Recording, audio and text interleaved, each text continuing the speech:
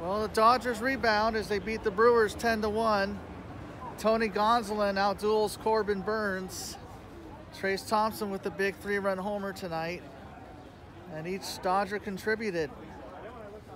Yeah, Freddie Freeman, a couple RBIs. Um, so with the Dodgers winning, Padres losing, magic numbers trimmed to 21. And uh, let's go for the, let's win the rubber game tomorrow.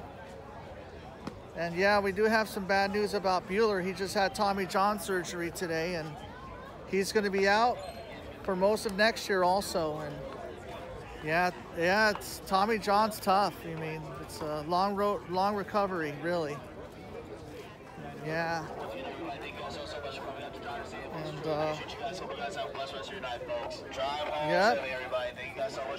Also, the Yankees beat the Mets as well, so home field advantage just kept getting bigger for us. And the Cardinals split the day-night doubleheader against the Cubbies, and um, yeah, the Angels lose to Tampa Bay 10 to 1 or 11 to 1.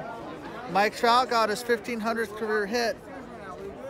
And there's news that the Angels could be up for sale soon. Yep. Arte Moreno, I thought, was a failed owner for the Halos. I mean,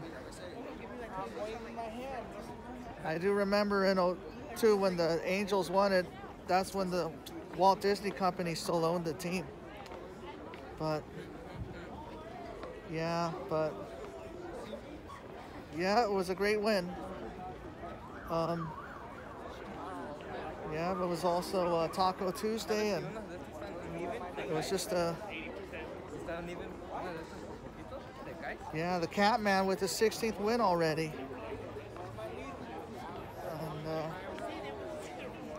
yeah, the Catman. Yeah, Corbin who? Wow, we beat two great pitchers in three days. And,